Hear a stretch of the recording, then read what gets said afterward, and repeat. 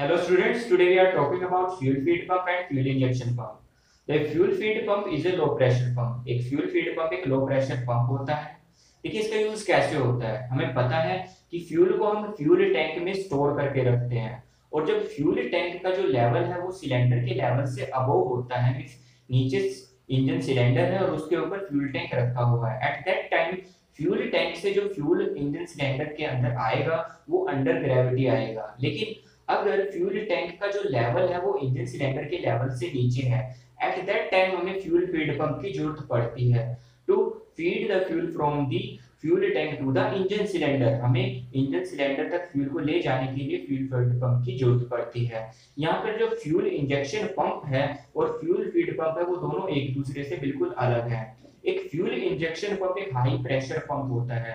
जो फ्यूल को high pressure develop करके उसको इंजन सिलेंडर के अंदर भेजता है। लेकिन हम फ्यूल फ़ीड पंप की हेल्प से, जो फ्यूल टैंक से जो फ्यूल है, उसको हम फ्यूल इंजेक्शन तक भेजते हैं। फ्यूल फ़ीड पंप की हेल्प से ही हम जो फ्यूल है, उसको फ्यूल इंजेक्शन पंप तक भेजते हैं। नाउ एक फ्यूल फ़ीड पंप वर्क कैसे करता है?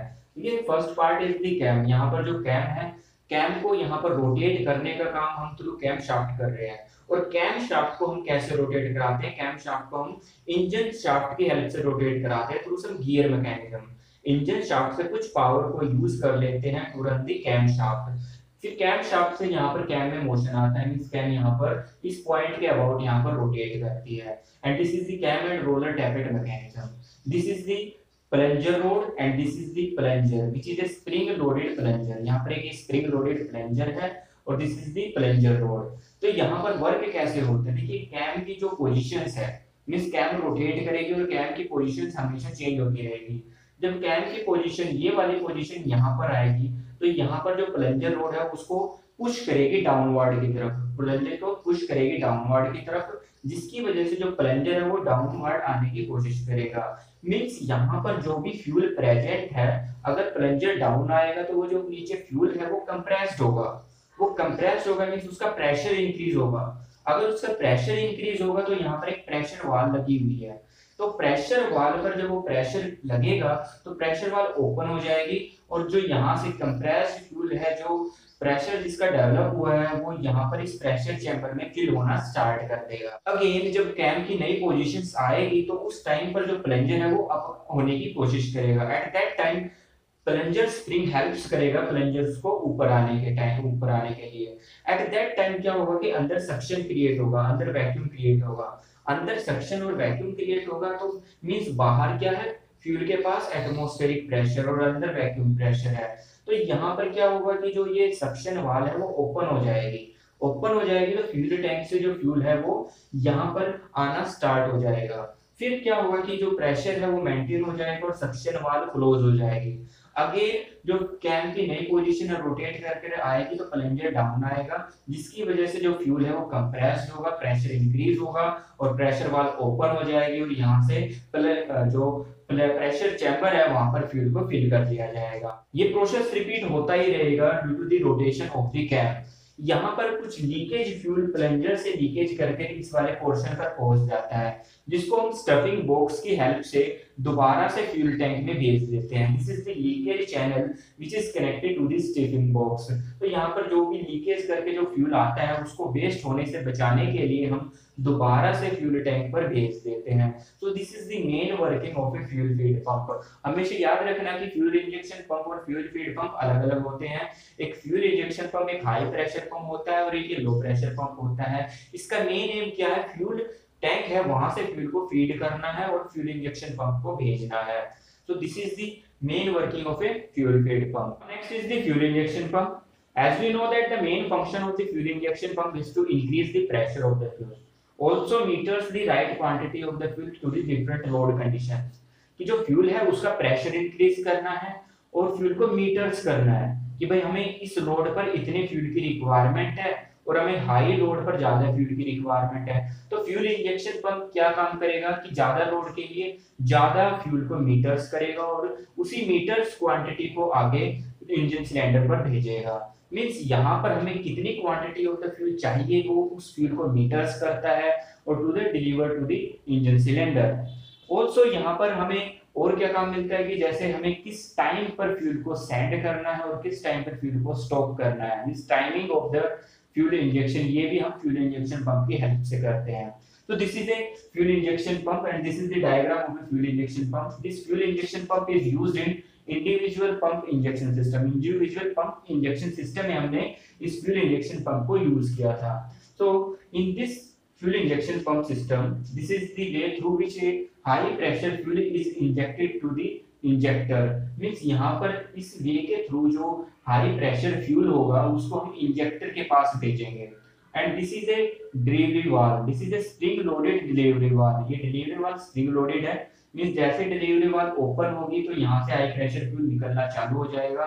और जैसे डिलीवरी वाल नीचे आएगी तो डिलीवरी वाल से जो फ्यूल बाहर निकल रहा था, वो स्टॉप हो जाएगा. Also this is a barrel यहाँ पर ये सिलेंड्रिकल बैरल है, जिसके अंदर एक सिलेंड्रिकल प्लंजर रेसिप्रोकेट करता है. This is the cylindrical barrel in which this is the cylindrical plunger which is reciprocate in this cylindrical barrel. This is the inlet port. ये inlet port है जिसके through fuel feed pump से जो fuel है, इस barrel में enter करेगा।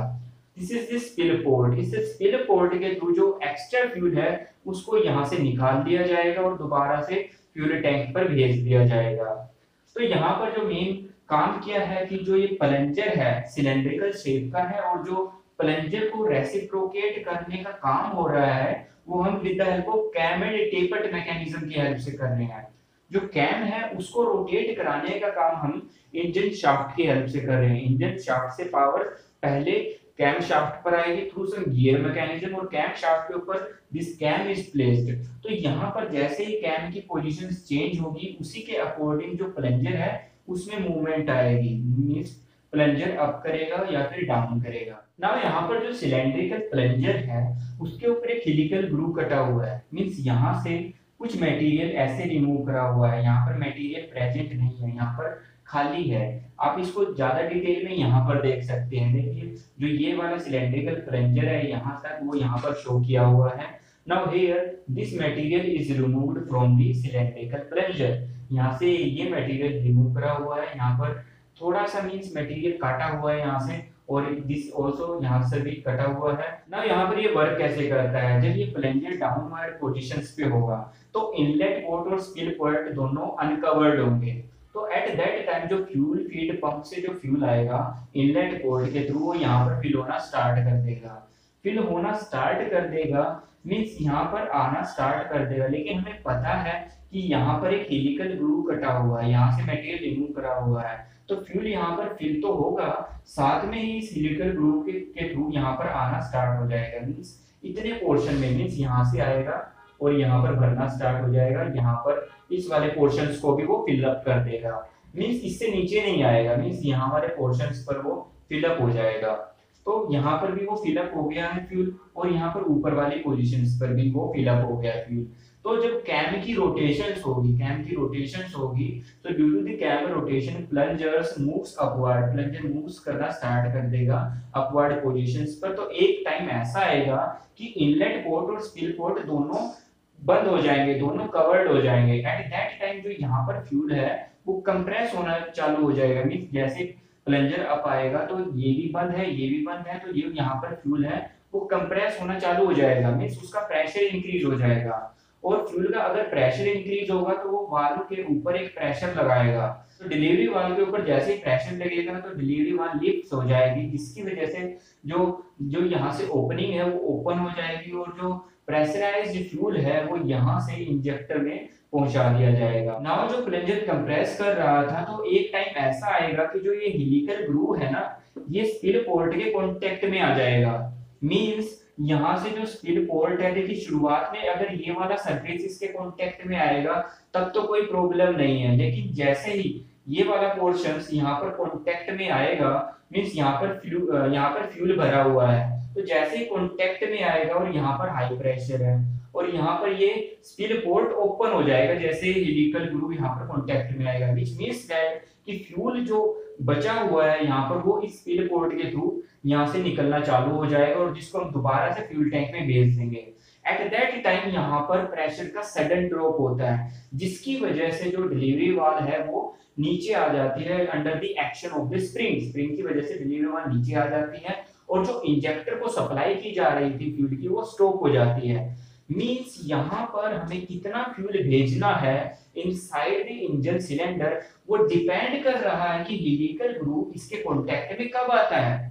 अगर हेलिकल ग्रुप बहुत पहले ही कांटेक्ट में आ गया तो पहले ही जो सारा फ्यूल है के थ्रू बाहर निकलना चालू हो जाएगा। और अगर हेलिकल ग्रुप बाद में कांटेक्ट में आएगा मींस थोड़े टाइम बाद आएगा तो काफ़ी टाइम तक वो कंप्रेस हो जाएगा और ज़्यादा फ्यूल इंजेक्टर के थ्रू भेज दिया जाएगा। मींस डिपेंड कर रहा है कि हेलिकल ग्रुप स्पिल पोर्ट के कांटेक्ट में कब आता है। नाउ हमें पता है कि जिस टाइम पर इंजन के ऊपर लोड ज़्यादा पड़ता है मीन्स एट दैट इंजन को पावर ज़्यादा डेवलप करनी पड़ती है। तो ज़्यादा पावर डेवलप करनी होती है तो मीन्स उसके अंदर हमें फ्यूल की क्वांटिटी ज़्यादा भेजनी पड़ती है। और जिस टाइम पर हमें लो लोड होता है इंजन के ऊपर एट दैट टाइम हमें पता है कि इंजन को लेस पावर डेवलप करनी होती है। मीन्स उस टाइम पर फ्यूल की क्वांटिटी को कम भेजना पड़ता है। तो हमारी यहाँ पर रिक्वायरमेंट यही है कि अगर इंजन के ऊपर ज़्यादा लोड है मीन इंजन को ज़्यादा पावर डेवलप करनी है तो उस टाइम पर जो हेलिकल ग्रू है, वो स्पिल पोर्ट के कॉन्टेक्ट में बहुत टाइम बाद आएँगे। तो उस टाइम पर हमारी रिक्वायरमेंट यही रहेगी कि जो हेलिकल ग्रू है, वो स्पिल पोर्ट के साथ में कॉन्टेक्ट पर जल्दी ना आए। क्योंकि उस टाइम पर अगर वो जल्दी कॉन्टेक्ट में आ जाएगा तो सारा फ्यूल स्पिल पोर्ट के थ्रू निकल जाएगा। लेकिन अगर वो देर से कॉन्टेक्ट में आएगा तो क्या होगा कि जो कंप्रेस्ड फ्यूल होगा, वो ज़्यादा देर तक इंजेक्टर पर पहुंचेगा। मीन्स ज़्यादा फ्यूल की सप्लाई की जाएगी। तो यहाँ पर डिसाइड करता है कि हेलिकल ग्रूव स्पिल पोर्ट के सामने कब आएगा। अगर लो लोड है मीन्स जो इंजन है, उसको लेस पावर डेवलप करनी है। लेस पावर डेवलप करनी है तो हमें कम फ्यूल डेवलप भेजना पड़ेगा।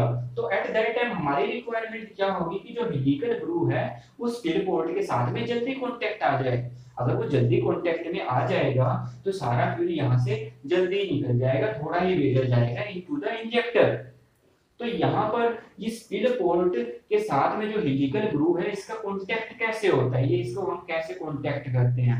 देखिए, यहाँ पर एक अरेंजमेंट लगा हुआ है rack and pinion arrangement means this is the pinion जो इसके पिछली साइड में है, ऐसे this is the pinion in which grooves are cut वहाँ पर ग्रूव कटे हुए हैं, वहाँ पर टीथ कटे हुए हैं. Also this is the rack और रैक के ऊपर भी टीथ कटे हुए हैं. और रैक और पीनियन आपस में कांटेक्ट में है. मींस जैसे ही ये रैक ऐसे रेसिप्रोकेट करेगा तो उसके कोरस्पॉन्डिंग जो यहाँ पर पीनियन होगा, वो ऐसे रोटेट करेगा. मींस यहाँ पर जो ये रोटेशन है उसकी वजह से जो ये प्लंजर है, उसको भी हम यहाँ पर रोटेट करवा सकते हैं। मीन्स प्लंजर ऐसे रोटेट भी कर सकता है और रेसिप्रोकेट भी कर सकता है। मीन्स यहाँ पर सिलेंड्रिकल शेप का है तो रेसिप्रोकेट भी कर सकता है और ये यहाँ पर रोटेट भी कर सकता है। और उसकी रोटेशन डिपेंड करती है कि रैक की कितनी मूवमेंट हुई है।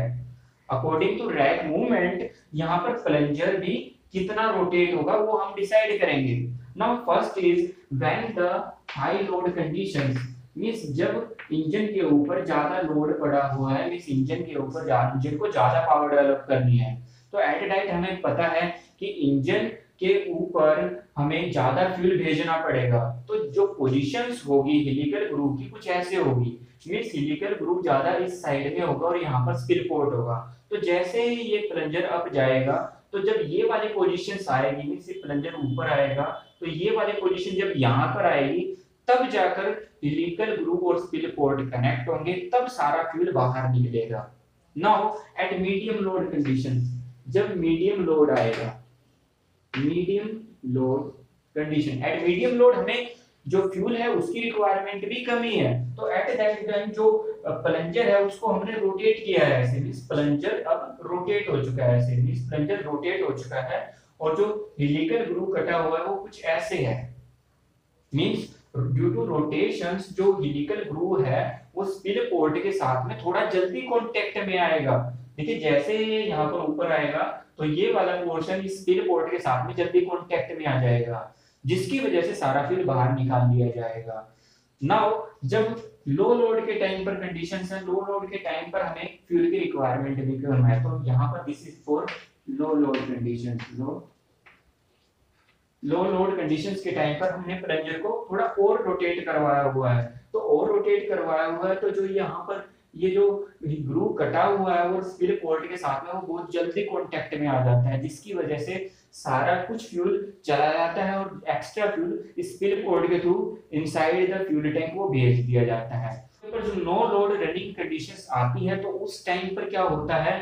मींस इंजन स्टॉप होता है। तो एट दैट टाइम जो जो ग्रू है, जो हेलिकल ग्रू है, वो इन लाइन होता है टू द स्पिल पोर्ट तो एट दैट टाइम उस टाइम पर जो ग्रू है और जो स्पिल पोर्ट है, वो आपस में एक दूसरे के टाइप पर कांटेक्ट होते हैं। एट दैट टाइम हमें फ्यूल की रिक्वायरमेंट होते ही है। मींस उस टाइम पर जब वो लाइन पर होते हैं तो पिस्टन अप भी आता है तो वहाँ पर कंप्रेस ही नहीं हो पाता, वहाँ पर प्रेशर डेवलप हो ही नहीं पाता है। सारा का सारा फ्यूल स्पीड पोर्ट के थ्रू बाहर निकल जाता है।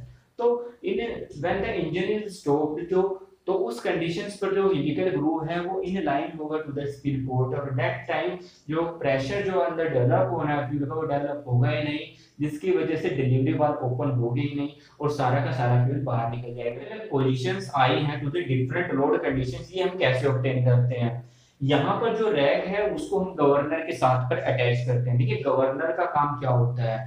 गवर्नर क्या होता है? इंजन की स्पीड को मेंटेन करके रखता है to different load conditions means अगर इंजन के ऊपर लोड बढ़ जाता है लोड बढ़ने की वजह से इंजन की स्पीड डिक्रीज हो जाती है। और जैसे ही इंजन के ऊपर लोड घट जाता है तो इंजन की स्पीड बढ़ जाती है, जिसकी वजह से फ्लक्चुएशन आती है इनसाइड द इंजन सिलेंडर इसी चीज़ को अवॉइड करने के लिए हमें वहाँ पर गवर्नर का यूज़ करना पड़ता है।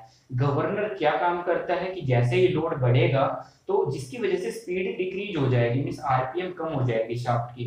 लेकिन अगर उस टाइम पर हम ज़्यादा फ्यूल भेज दें, ज़्यादा फ्यूल भेज दें तो क्या होगा कि ज़्यादा अमाउंट ऑफ़ एनर्जी प्रोड्यूस होगी, जिसकी वजह से जो स्पीड डिक्रीज होने की कोशिश करती थी, वही स्पीड फिर बढ़ जाएगी। मीन्स जितनी स्पीड हमें कॉन्स्टेंट स्पीड चाहिए, वो हम अटेन कर सकते हैं with the help of governor.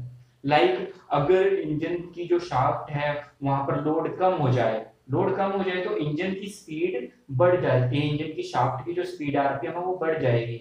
लेकिन एट दैट टाइम हमें क्या करना पड़ेगा कि फ्यूल की सप्लाई को कट कर देना पड़ेगा, जिसकी वजह से शाफ्ट की जो स्पीड थी, जो आरपीएम थी वो कम हो जाए। तो गवर्नर इस चीज़ को मेंटेन करके रखता है कि फ्यूल की सप्लाई बढ़ा दी फ्यूल की सप्लाई घटा दी तो डिफरेंट लोड कंडीशन यहाँ पर भी सेम काम यही हो रहा है कि ये जो रैक है, ये रैक उस जो प्लंजर है, उसकी पोजीशंस को चेंज करता रहता है to the different load condition governor sense करेगा कि इंजन की पर लोड कैसा है। इंजन पर लोड ज़्यादा है तो ये रैक इस प्लंजर को ऐसी पोजीशंस पर ले आएगा कि जिस पर ज़्यादा फ्यूल एंटर करे। अगर इंजन के ऊपर लोड कम है तो यहाँ पर ये रैक इस प्लंजर को इस पोजीशन पर ले आएगा कि फ्यूल की एंट्री कम हो और ज़्यादा से ज़्यादा जो फ्यूल है वो स्पिल पोर्ट के थ्रू बाहर निकल जाए। तो यहाँ पर जो पोजीशन चेंज हो रही है वो with the help of rack हो रही है और रैक को हम with the help of governor से कंट्रोल कर रहे हैं। तो this is the way and fuel injector pump works